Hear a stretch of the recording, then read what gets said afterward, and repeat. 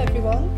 Thank you so much for coming and particular thanks to our speaker, Fausto, who's very generously volunteering his time to speak to us today. Thank you very much. Thank you, So I'm going to talk to you today about the way in which thyroid surgery has changed over the centuries and in more recent times to give you a bit of an idea about what we do in thyroid surgery in general. So thyroid surgery is a part of endocrine surgery. So what is endocrine surgery? Well, we are, if you like, the surgical arm of the endocrinologist. What defines endocrinology is the management of organs that produce hormones. And hormones, by definition, are things that are released into the bloodstream without a duct. Okay, and so organs will be like the thyroid gland, the parathyroid glands, the adrenals, um, and the endocrine pancreas. What do you mean without a duct? Well, if you think about glands in general, let's say the salivary gland, you you release saliva into the mouth via a duct. So there's a duct that leads the product of the gland into another area. Whereas endocrine organs don't have a duct. They release their products directly into the bloodstream. So things are then circulated via the bloodstream. So the thyroid gland has no duct. And that has an implication. The implication from a surgical point of view is that all these organs have a disproportionate blood supply. So the pituitary gland has no duct, it's an endocrine organ. And it has to have, of course, a very good blood supply to release its hormones into the bloodstream. The thyroid is exactly the same. And that's what makes thyroid surgery, uh, let's say, interesting because, of course, these organs, like the adrenal glands, like the thyroid glands, are very vascular. And we're going to talk about thyroid surgery in particular today. So before we talk about thyroid surgery, we need to talk about who needs thyroid surgery. Now, most of the people in this audience, I'm presuming, are taking thyroxine, but most people take thyroxine because their thyroid has failed, not necessarily because a surgeon has removed the thyroid gland. But nevertheless, a significant number of people will have had a thyroidectomy for some reason. So, what are these reasons? Well, the, in, in order, if you like, of importance, let's say, thyroid cancer is one reason why you may have to have your thyroid gland removed. If there's a cancer within your thyroid, the key part of the treatment is to remove the cancer, and of course, also to remove abnormal lymph nodes when they are present. We also do surgery in patients who have suspected thyroid cancer because there are still circumstances today where, despite a biopsy, you can't say with certainty that the patient has a cancer. And so you have to remove a part of the thyroid gland to exclude a cancer. In the future, that will happen less and less as our diagnostics and molecular markers improve. But as things stand, there are still patients that have to have half of their thyroid gland removed to be sure that they don't have a cancer. Patients with symptomatic goiters. Now, first of all, let's just define goiter. Goiter just means enlarged thyroid. That's all it means.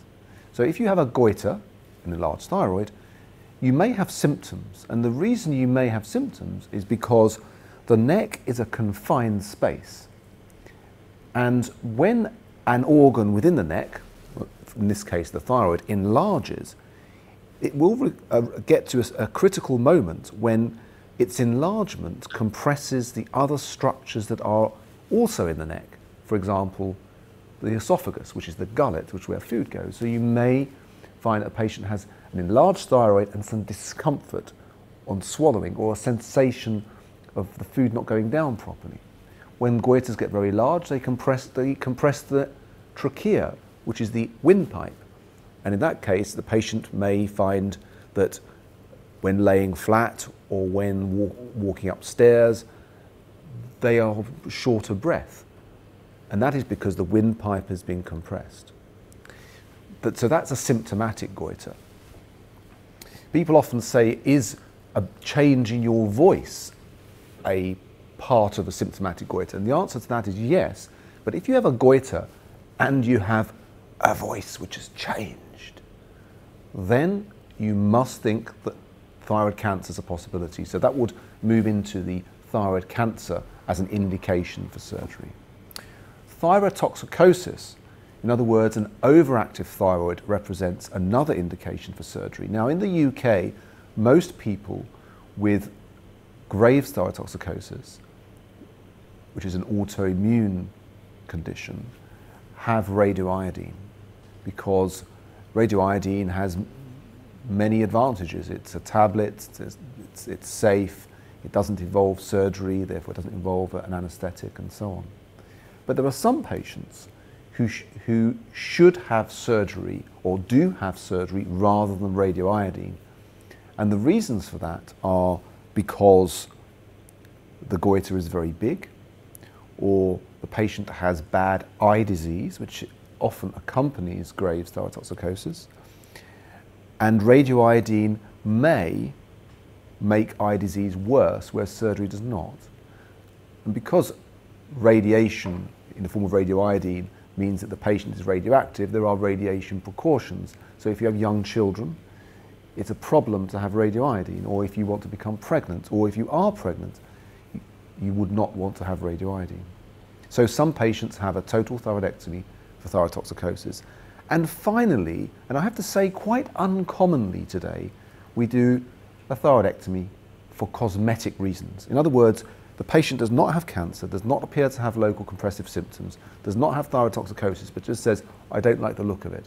And we're reluctant to do that, generally speaking. But there are certain circumstances where we would agree to do a thyroidectomy for that reason. So those are the reasons why people have a thyroidectomy. And in 2018, let's make it quite clear that thyroid surgery is safe. And you'll see that by the end of this talk. But this was not always the case. So the first documented thyroidectomy occurred in the 13th century in Salerno, which is the world's first medical school, which no longer exists, by the way. And what they did, just to give you an idea of how brutal things were, is they just tied a seton around a goiter. So it, a seton is just a thread around the goiter. So you can imagine that the patient has a large uh, growth coming out of their thyroid, and their solution to that was just to tie a thread around it and pull very hard, like a, or tie a bootlace around it and pull very hard. So that's how thyroid started, thyroid surgery started. There are other reports over the centuries of enucleation, which means scooping out, uh, or tying bits of the thyroid gland off, or burning the thyroid. You can imagine how much fun that was. So that was the 13th century. But everything really changed when we started to understand the anatomy of the thyroid. Because in the 13th century, they just saw a lump and tried to deal with it as best they could. But Leonardo da Vinci, in his uh, paintings, often painted women who had had a goiter. And the reason is probably because of iodine deficiency.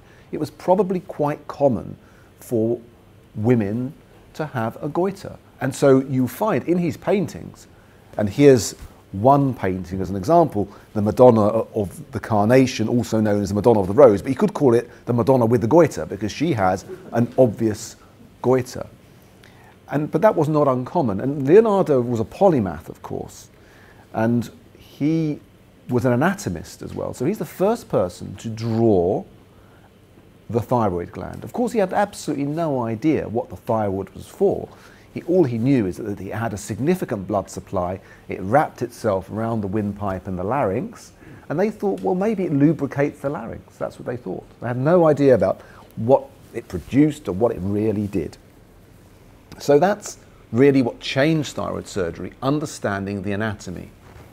So the question is, when we talk about Leonardo da Vinci, given, given we're on this topic, you may or may not be aware that there is a theory that the La Gioconda, which is the real name of the Mona Lisa, the name of the painting, was in fact of a woman who was hypothyroid because Lisa Gherardini, who is the Mona Lisa, if you like, has many features in her appearance that are in keeping with a hypothyroid patient. And there are many academics who have written about this, should you ever be interested. But let's go back to the benefit of having people like Leonardo da Vinci, who are curious people, that gave us some anatomical information. Well, using that anatomical information, over the years, people have started to do anatomical thyroid surgery. So they didn't just tie things out or, or slice it off or burn it. They actually said, we're going to remove the organ. So the first time this was uh, described as a proper operation was Pierre Desault in 1791 described a thyroidectomy in a 28-year-old woman. And of course, this was a great, highly celebrated event. And, but sometimes uh, was, one has a certain beginner's luck because his second patient died following the surgery with uncontrolled hemorrhage. And the stories of early thyroid surgery are quite well, I wouldn't say comical because that to a, to a, modern surgeon they're comical, but you have to put it into, into the context of its day. But the patients had the surgery and then, then basically didn't do very well. And the description of how the patient succumbed after the thyroidectomy was often vague, like the patient had the thyroidectomy and they died of shock. You know, now, shock could be one, could, could be a number of things, but bleeding, of course, would have been a major problem because the thyroid is very, very vascular. They didn't have instrumentation, which was good at controlling blood vessels, but also they had to operate at an incredible speed because they didn't really have anesthesia. And then you have the problem of they didn't really have antisepsis, so they didn't operate in the sterile field. So you can see the, the challenge of the surgeons of their day. And the, the outcomes and the documented outcomes, so you can imagine the ones that were not documented, the documented outcomes in the 19th century, early 19th century, were dreadful. So much so that in 1850, the French College of Surgeons outlaw, outlawed thyroid surgery. They said this is illegal. You cannot do thyroid surgery. And it was not only in France.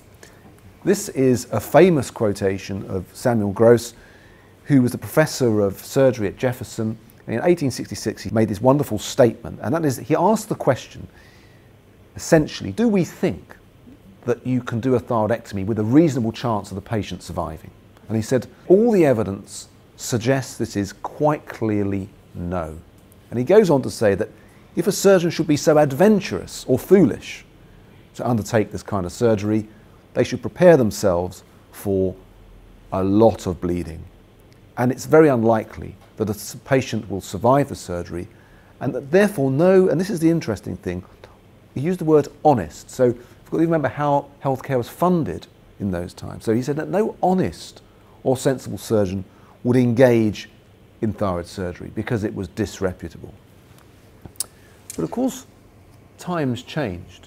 And in, in uh, Middle Europe, if you like, that's really the heart of thyroid surgery in, in, around Switzerland and southern Germany. There's a reason for that, of course, and that is that goiter was very common in the mountainous parts of Europe because of iodine deficiency. So northern Italy, Switzerland, southern Germany and Austria, which was where goiter was prevalent.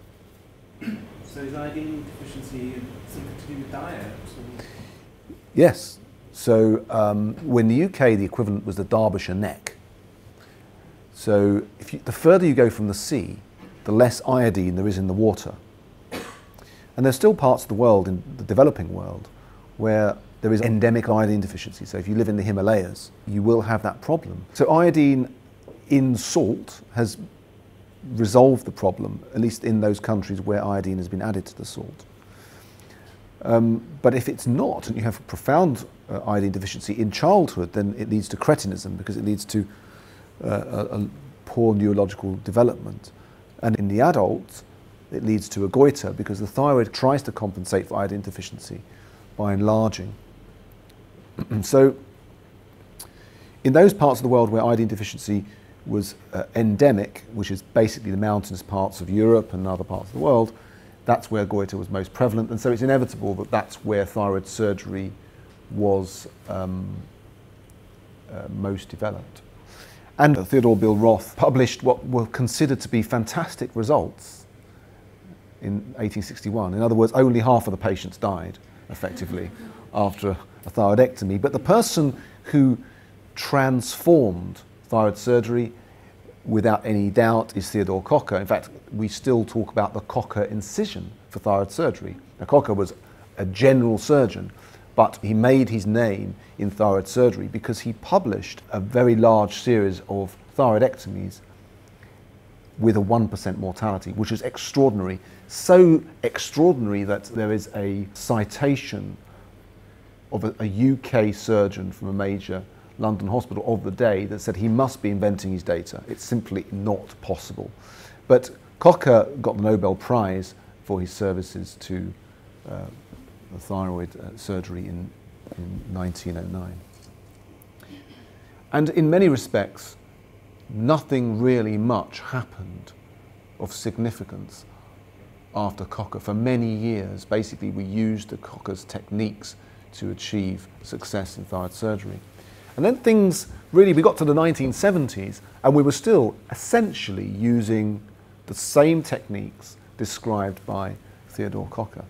But things have changed in the last 40 or 50 years. Let's just compare. So, in the past, thyroid surgery was done with a large incision. So, when I say a large incision, even for a relatively small thyroid, the traditional teaching was to make the incision, first of all, to make the incision low, which aesthetically actually seems like a good idea because it, you can't see it. But the problem is that those incisions are at the junction between the neck and the chest, and so therefore they're more, they have a tendency to stretch, so you end up with a stretch scar. Secondly, they're very large, so you make a, a necklace incision like this, so it's almost ear to ear, if you like. Uh, that simply doesn't happen anymore.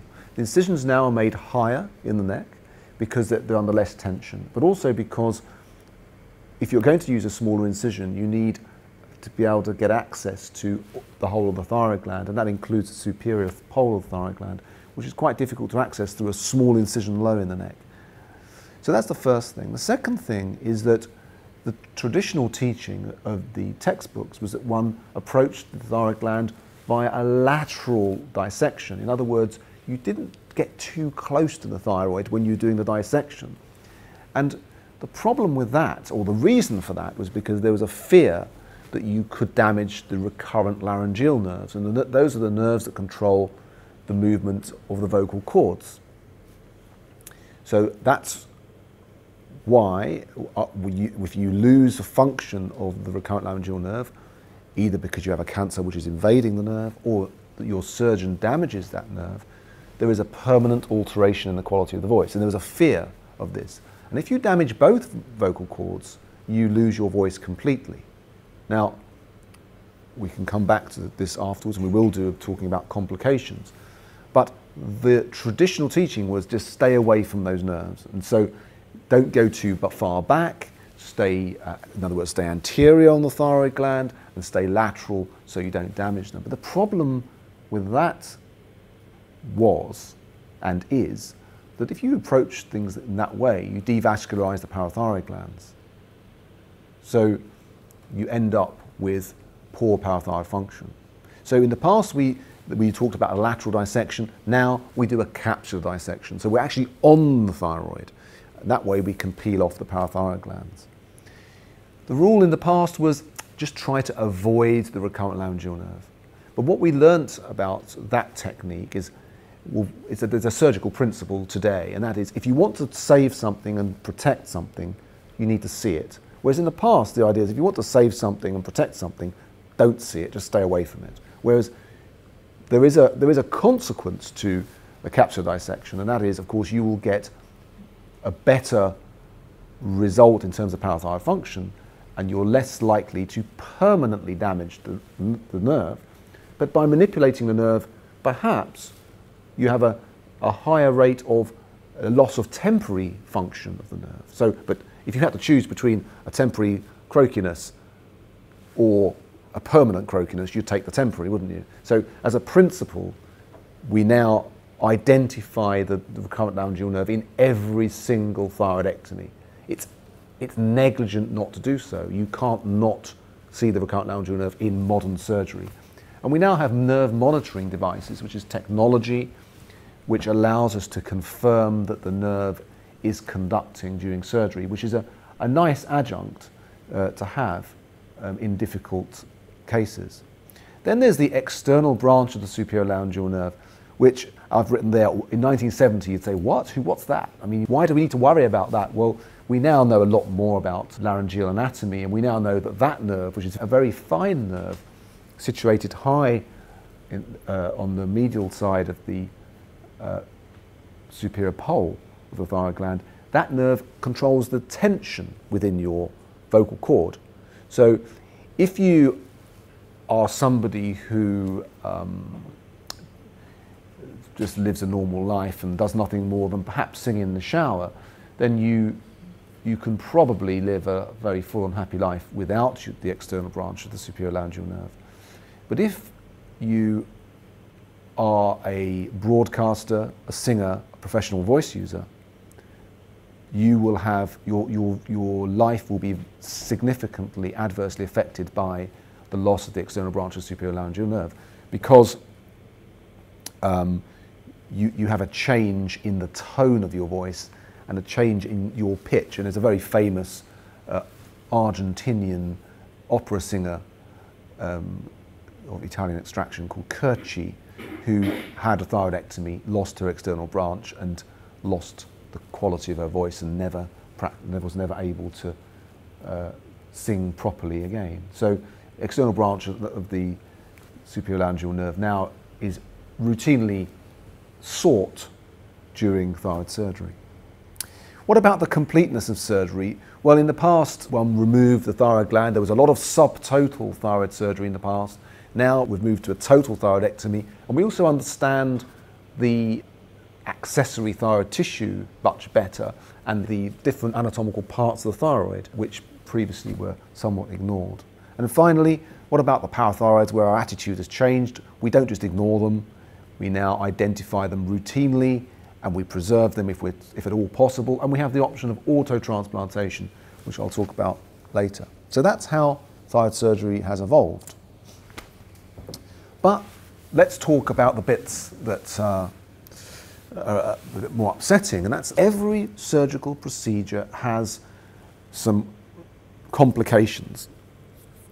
That's interesting, the use of the word complication. I've often thought that the word complication is insincere. It's rather like uh, military talk. You know, they talk about collateral damage. You know, oh, we, we bombed that village and yeah, there was some collateral damage. The collateral damage is killing children and sort of women going down to the well to get water complications, I don't know really where the origin of that word is when it comes to surgery. What complication means is because we can't say the word error. We can't say there was a surgical error because not every adverse outcome, which is really what a complication is, is due to an error. So the fact that you have an infection after you have a hernia repair does not mean that the surgeon was negligent or did something intentionally wrong. No, there, there is a, there is a, almost inevitability is probably a bit strong, but there, there are adverse events that can happen in every, every type of operation. And in thyroid surgery, the adverse events, in addition to the adverse events that can follow an anesthetic, are very specific. So, thankfully, it's unusual today in, 19, in 2018 mm-hmm. to die after a thyroid surgery. But it does happen. We still have a number of deaths everywhere, every year in the UK following a thyroidectomy.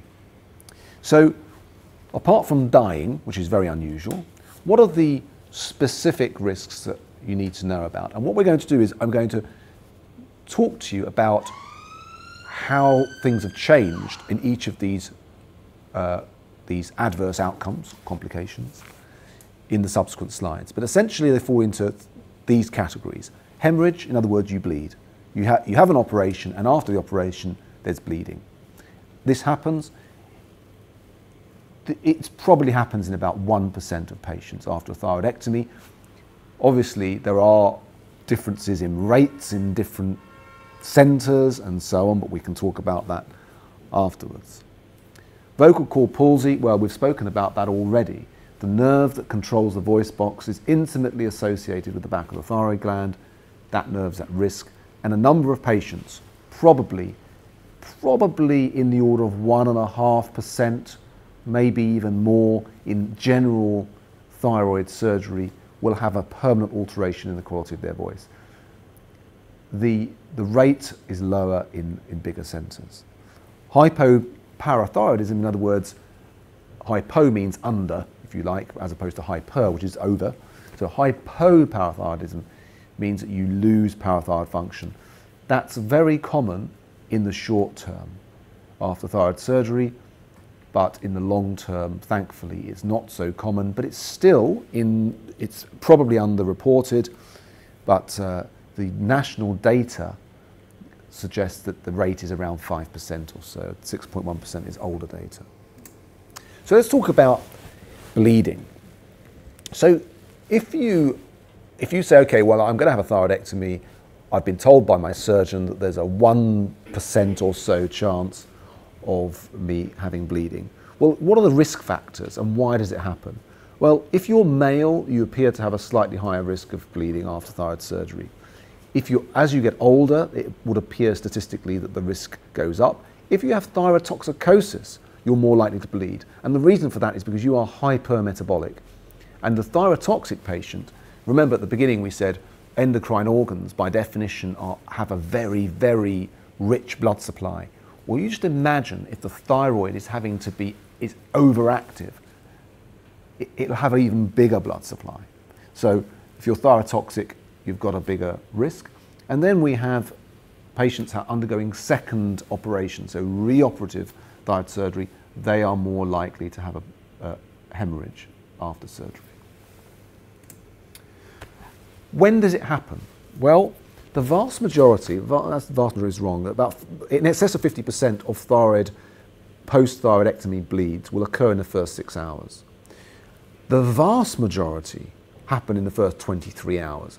So when you have thyroid surgery, there is, a, there is an area of controversy in the UK, well, worldwide actually, and that is should we be doing thyroid surgery as a day case? In other words, there's a driver for financial reasons to get patients in and out of hospital as quickly as possible. And in some countries, the US mainly, thyroid surgery is done as a day case procedure. In mainland Europe, it's, it's, it's uncommon. The vast majority of UK surgery and French, German, Italian, thyroid surgery is done as an inpatient, which in our practice here in, uh, at the Hammersmith, it means 23 hour surgery. So we try to be, if you like, evidence based. If you're going to bleed, you're going to bleed in the first 23 hours. So we keep you in, hosp in hospital for 23 hours and then we let you go home. Because the chance of you then having a bleed is pretty small.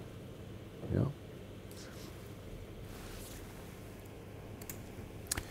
So how do we manage this problem? Well, to minimize the risk of bleeding, and let's not forget, a bleed after a thyroidectomy is a life-threatening event. Yeah? Doesn't mean if you bleed, you're going to die. It means if you have a bleed in the neck after a thyroidectomy, if it's not managed briskly, in a number of patients, the patient will lose their airway. In other words, they will no longer be able to breathe and you can't not breathe for very long before you succumb. Okay, so, so this is a great fear of the thyroid surgeon, a bleed after a thyroidectomy. So how can we try to minimize that risk? Well, there are things that we do preoperatively and there are things that we do intraoperatively and postoperatively. So preoperatively, we try to make sure that any patient having thyroid surgery for thyrotoxicosis is euthyroid at the time of their operation. So in other words, that their thyroid function is normal. And this applies to patients who aren't thyrotoxic because they have um, Graves' disease. They're patients who are hypothyroid, for example, and have a goiter. So they're taking thyroxine and they have a goiter. You, we would make sure routinely that the thyroid function tests are normal on the day of surgery or in the day, days immediately before surgery. So that's important. We try to reduce the blood supply to the thyroid gland if in thyrotoxic patients because even though it's, let's say, unproven, like lots of things unproven in surgery, there is a, a, a received wisdom that if you can reduce the blood supply to the thyroid gland in a thyrotoxic patient, the operation will be less risky. We do this routinely in all our patients. When you're going to have a thyroidectomy, the last thing you want is to have any problem with your coagulation. Aspirin, which is taken by a large number of patients as a prevention for stroke, or, or if you have an arrhythmia, we take aspirin to reduce the risk of strokes. Or if you have a cardiac history, perhaps you've had a coronary stent, then patients are on antiplatelet agents like aspirin and like clopidogrel. These drugs for a surgeon that's going to undertake a thyroidectomy are bad news because uh, the patient just oozes. And there is one further category. I can't see any Orientals in the, in the audience here, but Chinese medicine often includes things that affect your platelet function, like omega 3 affects your platelet function. And you can get some bad surprises. Because often patients, when you ask a patient, are you on any regular medication? They say, no, I'm not, nothing. But they forget to tell you that they take Chinese medicine and dietary supplements that contain omega 3. Omega 3 uh, makes you ooze. So once again, you don't, you've got to ask specifically whether the patient's taking those because that can increase your risk of bleeding. Now, what do we do in, to manage the situation, risk manage the problem, uh, and minimize the risk to the patient? Well, you need protocoled perioperative care. So if you have a thyroidectomy in a place like the Hammersmith, we have a group of nurses who have been, well, the ward, the ward where we do thyroid surgery has been managing the same pathology for the last 50 years, which is fantastic. And the nurses that manage thyroidectomy patients on our ward have incredible, eh, incredible experience in managing these patients. So when there's a problem, thankfully it's not very common, but when there's a problem, there's a protocol, there's a system.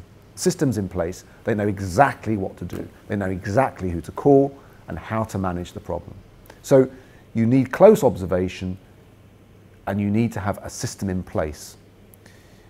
We don't give patients non-steroidal anti-inflammatory drugs, which again are like aspirin or Voltarol or ibuprofen because they affect your platelet function. Again, risk, avoiding risk. And then the question that I'm asked every time by patients and in this sort of forum, what about a drain? My surgeon used a drain. Well, we don't use drains anymore we haven't used drains, or big centres don't use drains, haven't used them for at least two decades. And the reason is because if you go and look at the, dry, the, the, the evidence, drains actually make no difference. If you bleed, the drains clot off. So you don't, they can give you a false sense of security. You look at the drain, you know, there's nothing in the drain, so the patient can't be bleeding. Well, that's not right because they can still have a, a swelling in the neck due to bleeding but, but there be nothing in the drain. So just to clarify, when do we use a drain? We only use a drain if there's a very large dead space. In other words, we remove a large goiter, like in this lady here, and then after the removal of the goiter, there's a, there's a very big space, and that will tend to get filled with uh, serous fluid. So in those cases, we might use a drain. But even then, we, we wouldn't do it automatically. So what can we do during the operation to minimize the risk of bleeding? Well, it's all about technique. And it's, a, it's about being taught properly how to do the operation so that you can minimize that risk. And I underline that, minimize that risk. It's, it's, nobody has the gift of infallibility, but you can restrict the risk to the patient by having a very sound technique. And now we have technology which helps us too.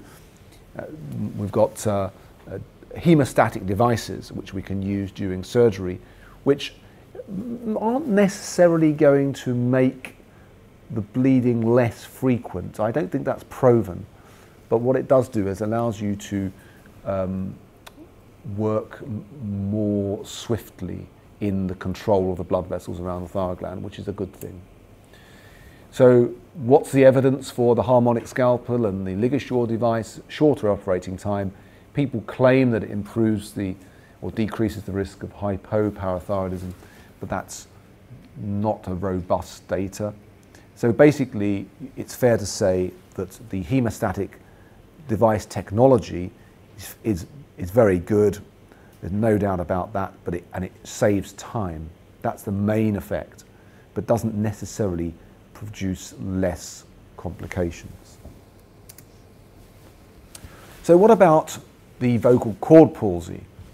Here's another uh, thing which has was very common in the past, but now is decreasingly common. Now, one of the problems we have with vocal cord palsy is knowing how frequently it actually really happens, because the only way you're going to know is if after the thyroid surgery you perform a laryngoscopy. In other words, the patient's larynx or vocal cords are assessed for movement. And if you do that, you find that tempor temporary loss of movement is actually not that infrequent, even in the best centres. But the chance of you having a permanent change in the quality of your voice, in other words, permanent loss of movement of one of your vocal cords, is somewhere between one and three or so percent probably in national data. That's, that's the real world. If you go to the very big centres that perform large numbers of thyroid surgery, uh, thyroid operations, the risk is less than 1%, and that's what we quote. Um, one of the problems, of course, is that if you don't look for it, you, if you don't look, you don't find. And if you don't look, you don't find, therefore you don't have an opportunity to reflect on your own practice and what, try to work out what it is you're doing wrong to mean that your patients are getting this complication. And one of the things you need to understand about surgeons and doctors in general, we're no different to anybody else. We don't like to wash our dirty linen in public. So if you have complications, you don't see lots of surgeons publishing their bad results. It's just not what you do, is it? You know, Coca-Cola doesn't, Coca-Cola doesn't uh, spend its time telling you that fizz is not good for you and that it ruins your teeth. They tell you about how wonderful it tastes. Now, nerve monitoring is, again, the technology that's arrived to help us. And this allows us now to uh, monitor the function, the, the, the conduction of the uh, recurrent laryngeal nerve during the operation, which is a nice thing to have, especially when the surgery gets complicated. The, unfortunately, when they've assessed the uh, use of the recurrent, the, the recurrent laryngeal nerve uh, monitoring they've never been able to prove categorically that it reduces the rate of permanent voice change. But what's interesting is when they've done the largest study of its type in Germany, what they found instead was that the rate of voice change was all to do with the amount of thyroid surgery that the surgeon performs. In other words, the more thyroid surgery you do, the less likely you are to have a change in the voice, with or without the nerve monitor. And there's a graph showing it that as you do more thyroid, as you do more thyroidectomies, this is British national data. As you do more thyroidectomies, the rate of uh, vocal cord palsy goes down and down and down. But we never reach the point of infallibility, as you can see. So what about the parathyroid during surgery? Well, I said previously in, in, the, in, in the 19, uh, in, in, the, in the early part of the 20th century, so in Kocher's time, they really didn't have a great understanding of parathyroid function. What they did do is, well, Cocker taught that you just uh, try to, try to um, stay on the surface of the thyroid gland. That was his teaching, and not remove the back of the thyroid gland. So it's a subtotal thyroidectomy, and therefore you preserve parathyroid function. Then over the decades until the 1970s, the view was you should try to preserve the parathyroid, parathyroids if you could. But the reality is that because of the technique, the rate of hypoparathyroidism was still very high. And that one of the problems is that thyroid, parathyroid glands have a very tenuous blood supply. So just the manipulation of the parathyroid gland or its blood supply can mean they, they lose function. Now we have a better, we have a, a greater understanding of the anatomy of the parathyroids. We have a surgical technique which is on the capsule of the thyroid gland with the help of the hemostatic devices which allow you to do that perhaps even better. We preserve parathyroid function when at all possible. But we have the added thing that when the parathyroids are not functioning or not obviously not intact or their blood supply is not intact, we can auto-transplant. So why, you might ask, because somebody always does, why is it that you can't preserve the parathyroids? What's the big problem? Well, sometimes they're sitting very high on the thyroid, so that you can't even see the blood supply, or they could be embedded within one of the clefts of nodules of the thyroid gland. So you can't preserve them, which is obviously a problem. And then uh, sometimes the blood supply gets compromised by your technique in preserving the recurrent laryngeal nerve. So it is a problem. Parathyroid function is a problem in thyroid surgery, but again, you can get around the problem. This is just a graphic to show you the problem that you may encounter. So is that, is that showing? Yeah. So this is a parathyroid gland, an inferior parathyroid gland sitting very high on the, on the thyroid. So to preserve this, you'd have to preserve the whole of the tiny, tiny blood supply all the way down to here. And that's difficult. So that's a difficult one. And this is a, an, a superior parathyroid gland where the blood supply is coming back from, from on the thyroid gland and the act of running along the recurrent laryngeal nerve has compromised the blood supply to it. And this is a, a, real, a real world photograph. So there's no pedicle here, you can't see it. And here, the, you lose the pedicle if you go across that. So what do we do for auto-transplantation? Well, there are different techniques. We use, um, I think we're probably the only people in the UK that use this actually, the, an injection technique where we, we create a suspension of the parathyroid gland in, uh, in solution and then inject the parathyroid gland into the sternomastoid, which is this large muscle in your neck. I won't go into this much more. So I've alluded on several occasions to the issue of volume of surgery and outcomes, and I'm just going to quote you the, the probably the pioneer, the pioneer of the studies of, of uh, volume and outcome in thyroid surgery. And you'd be interested to know that next year there is a whole conference in Granada organised by the European Society of Endocrine Surgery on volumes and outcomes in endocrine surgery.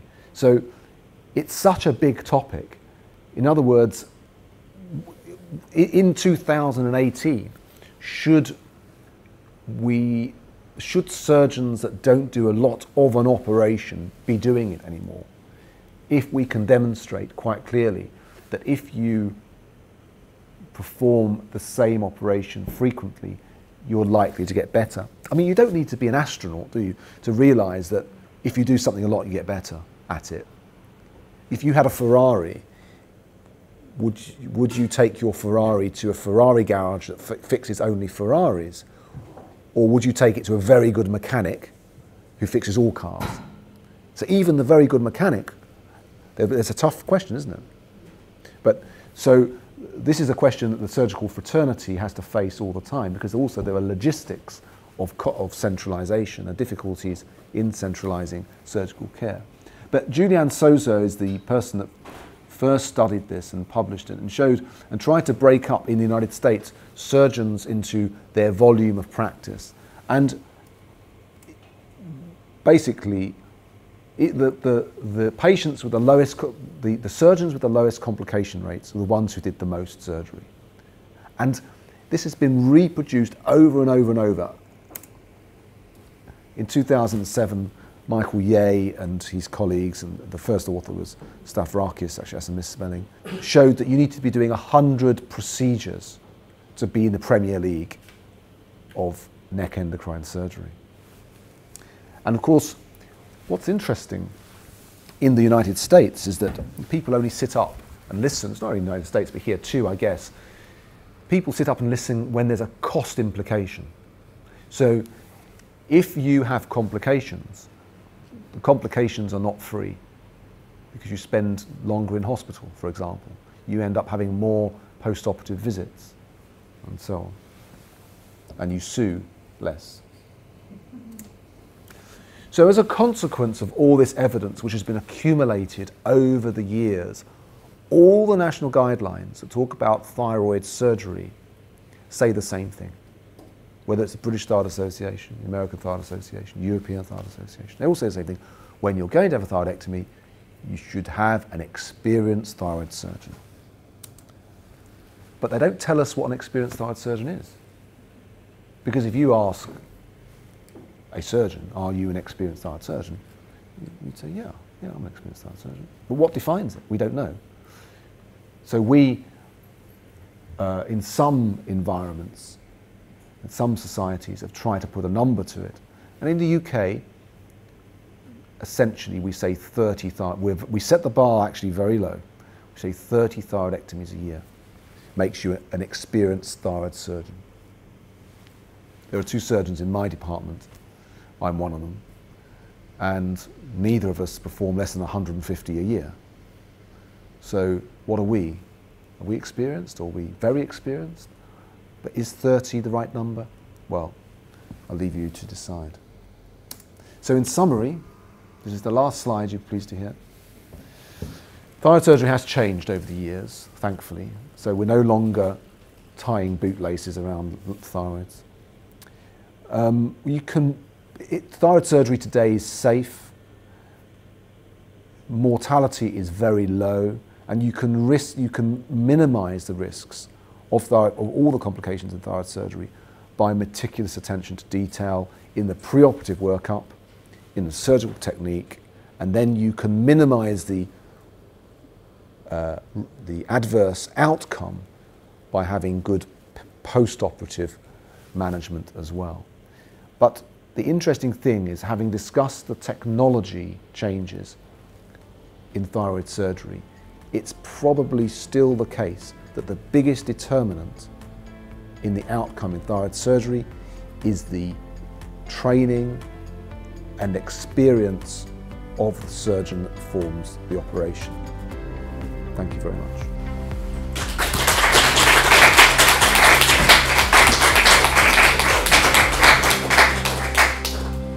Thank you so much, Fausto. That's fascinating. If anyone's got any sort of immediate questions they'd like to ask straight after the talk, then we can maybe take a few and then and then move on to the break.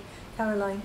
Um, you mentioned at the beginning of your talk that they did a lateral incision. What do they do now? So it's not so much the lateral incision, it's the lateral approach. You have these big, broad incisions low in the neck. But what they would do is the incision would be, let's say, a traditional Kocher incision, but they would stay as, as lateral as possible. So stay away from the thyroid gland because they feared damaging the nerve. So that's, that, that's the sense of the lateral incision. Yeah. The incision the, the incision's still the same, but the approach to the thyroid was different. Karen at the back. Um, I wonder if the success of surgery means that you've seen an increase in a tendency to see surgery as kind of like a first resort rather than a last resort, see what I mean, in terms of treatment, things like perhaps Graves' disease, Mm. where you can have block and replace treatment, and Mm. whether um, you think there's a tendency to almost kind of push people into surgery because it's seen as a, a safe, easy solution Mm. without actually thinking of the implications of that in terms of the fact that the patient then becomes hypothyroid for the rest of their life. So I'm just kind of interested in whether you've seen, Mm. seen in your experience a tendency towards sort of increased surgery because it's seen as a safe option. There's no doubt that um, physicians referring a patient to surgery will be affected by what they perceive as the risks of surgery. Now, as the risks of surgery have gone down, in the case of thyroid surgery, for example, the threshold may have changed. But that's, that's natural because uh, if you referred a patient for thyroid surgery, let's say for Graves' thyrotoxicosis, and the patient regularly came back, if they come back at all, uh, with a change in voice and hypoparathyroid, then when you see your next patient with Graves' thyrotoxicosis, you'd be thinking, hmm, I'm not sure surgery is a good idea because the patients appear to have complications. So, in a way, uh, as surgery gets better, inevitably there's going to, the patients, more patients will be offered surgery. In the case of Graves' thyrotoxicosis, there are two things I'd say. Um, as far as taking thyroxine is concerned, patients that have radioiodine usually end up on thyroxine anyway. So whether you have surgery or you have radioiodine, you end up on thyroxine. There was a, there was a fashion, in inverted commas, for subtotal thyroidectomy in Graves patients. In other words, leaving some thyroid behind to reduce the, the need for thyroxine. But in fact, it's such a imprecise science that the, pa- the patients would often end up on thyroxine anyway, or end up with a recurrence because you left too much thyroid. That I think I've covered everything. Is there anything I haven't covered there? I think I'm just interested in. Uh, I, have Graves' disease. I, in 2010, I had a TT, and my endocrinologist said that um, it would cure my Graves' disease, and that I couldn't stay on carbimazole long term. And actually, I've met people who've been on carbimazole for eight, ten years longer. So I'm just interested in why there's that kind of discrepancy in terms of kind of treatment. Yeah. Yeah. Well, it's interesting. Around the world, things are done differently. Mm-hmm. So, for example, if you have Graves' thyrotoxicosis in the UK, most patients, well, might, I don't want to be, I want to be corrected. Oh, most patients in the UK are put on, are put on anti-thyroid medication, typically for between a year and 18 months. That's the UK practice.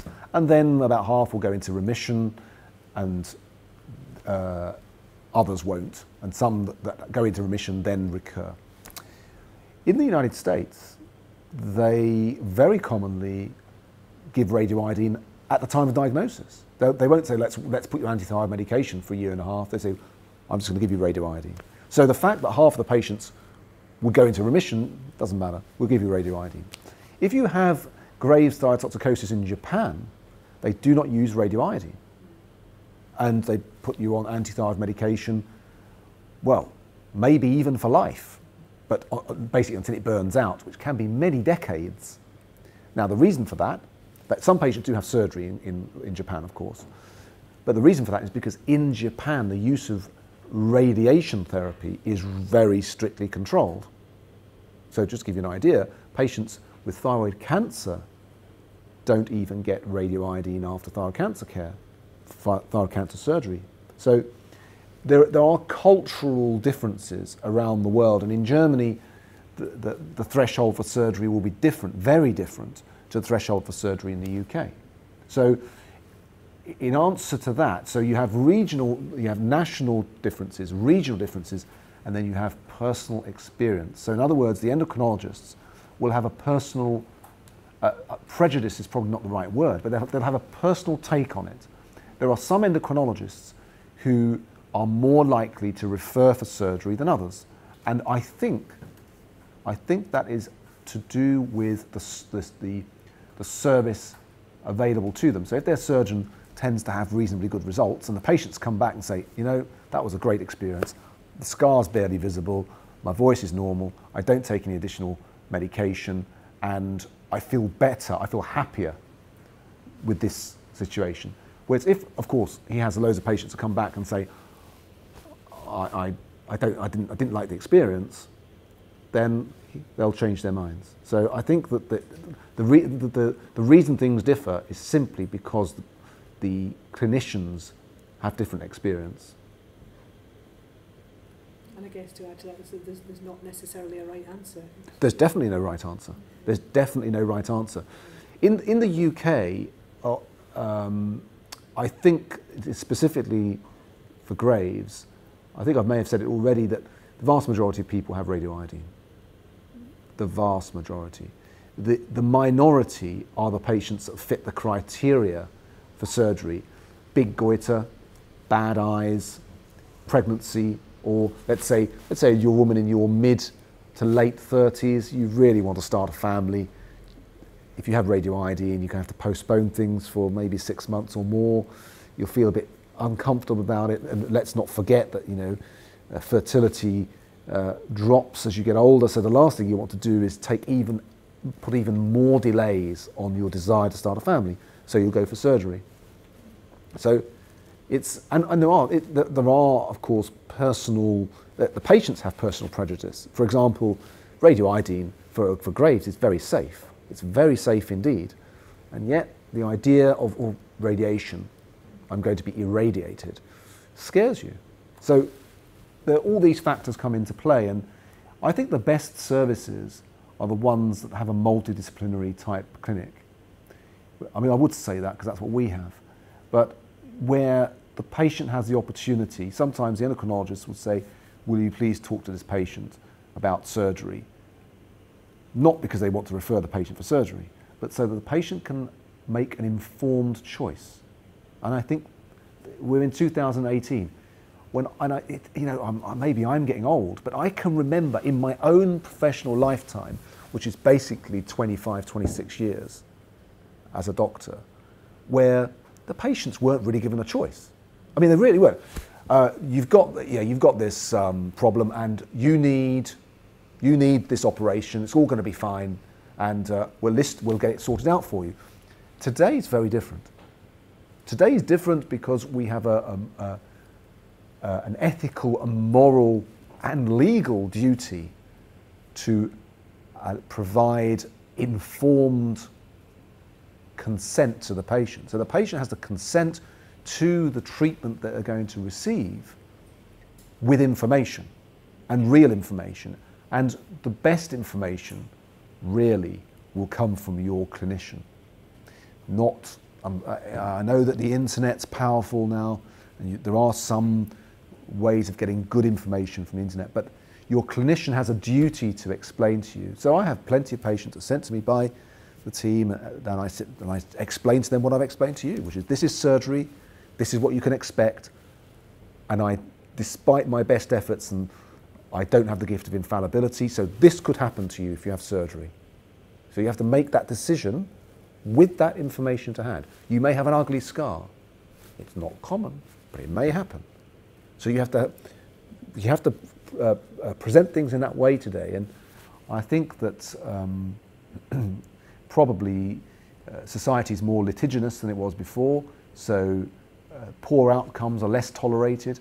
So it's very important that patients are given all the information available before they make a choice, whether it's radioiodine, whether it's surgery, whether it's antithyroid medication for life. I mean, let's not forget antithyroid medication comes with significant complications, risks, sorry, because it's because medicine, it's, don't talk about complications, mean drugs, risks. You know, you, let's not propylthiouracil, which is the alternative drug to carbimazole, comes with the risk of liver damage, significant liver damage. So um, that's not good. Carbimazole comes with the risk of immunosuppression. That's not good either. It's not common, but it can happen. So uh, there's nothing that you do in medicine almost that is risk free. And I think the, the problem uh, is that understanding risk is not, is not easy. It's not easy for the doctors, let alone for the patients, to try to get their head around. So you say this could happen. Does it happen? Yeah, no, no such thing as certainty, is there? No. We just have a couple of more questions. Um, I can see you at the back, Beverly. Judith had her hand up before. So Judith and Beverly, and then if we have a bit of a break. Okay. I think one's only a, a quick question, uh, Well, I was just curious that um, you didn't touch on robotic surgery. Uh, what are your views on that? Is it catching on? Well, there's an example of it comes back to uh, regional regional differences. So robotic surgery, for those don't aren't, aren't aware of it, is the use of a, a, a robot to assist in the surgery. And the advantage of the robot is that you can do an operation through the axilla. You do it through here. And remove the thyroid gland without having to have a scar on the neck. Now, this is a popular technique in very few places in the world. Uh, the place where it's most commonly performed is in Korea. The, in the UK, it's never really taken off. We're, we're the only centre that does a robotic thyroidectomy, to my knowledge, in the UK. And because I have a colleague who has an interest, but we do very few. And we select the patients uh, with care. It hasn't taken off. Why? Because the operation takes too long. The robot costs a million pounds. The disposables cost thousands of pounds. Now, in the great scheme of things, for healthcare, you might argue some drugs are extraordinarily expensive, but we still use them. But thyroid surgery is never going to go robotic in the UK. The benefits are questionable. A total thyroidectomy is in, in, in patients with the body habitus of a typical UK patient, unlike a uh, lovely Korean uh, super slim patient, uh, are, uh, a total thyroidectomy is quite difficult. So in the UK, it hasn't taken off. In the US, the, the FDA have removed the, removed the approval for a total thyroidectomy. So essentially, it's not going to happen. What is happening is transoral thyroid surgery. Yep, just imagine that. So you can do a thyroidectomy with incisions through the bottom lip. So that is, that is becoming more popular, pioneered in Thailand and performed by enthusiasts in various parts of, of the world, but um, it's not going to take off in, in the UK either because our threshold for surgery in the UK is much higher than it is in, in the rest of Europe. So we perform probably around 11, know, between 11 and 12,000 thyroidectomies a year in the UK with a population of 60 million. In Italy, uh, the same population, they do 45,000 thyroidectomies. In France, they do 40,000. In Germany, they do 90,000 thyroidectomies for a population of 75 million. So the threshold for surgery is very different. So we don't operate on people with thyroids that have got nothing wrong with them or are very small, whereas in some cultures, say in France, the patient will say, I have a nodule in my thyroid, I'd like to have it removed. They have surgery. So we, would, we don't have the type of patients that would be suitable for a transoral thyroidectomy in our practice. That's amazing. It varies so much around the, country, around the world. Beverly, did last question. I just wanted to know, is there any um, reason why you would, if you would operate on somebody with an autoimmune thyroiditis, if it wasn't, you know, wasn't going away, would you operate If you have autoimmune, so autoimmune thyroiditis falls into two categories. It's autoimmune thyroiditis where your thyroid's overactive, which is Graves' thyrotoxicosis, and there's an autoimmune thyroid disease, which is the more common one, where you end up with an underactive thyroid. Now, patients that have this type of thyroiditis, which is, which is commonly called Hashimoto's thyroiditis, these patients normally don't need to have their thyroid gland removed because the problem is not that the thyroid has something wrong with it, it's just that the thyroid isn't working. So the thyroid itself isn't usually cancerous. It isn't usually giving local compressive symptoms because Hashimoto's thyroid, thyroids tend to not be very large. Um, so the thyroid can be left alone. Oh, that's a really challenging one. And the reason it's challenging is because the symptoms that you can encounter when you have Hashimoto's thyroiditis are often related to an inflammatory effect. So it's not the mass effect, it's not that the thyroid is enlarged and it's pushing, it's just there's an irritation around the thyroid gland. And there are, you're quite right, there are some patients who find it very troublesome. The good news is it usually burns out. So that inflammatory effect is temporary, usually. Unfortunately, that temporary can be years, but it is usually temporary. And we do have the option of treating it with anti-inflammatory medication. Very rarely do we ever give steroids for that, but you can use anti-inflammatory medication which uh, can help deal with those symptoms. But we're reluctant.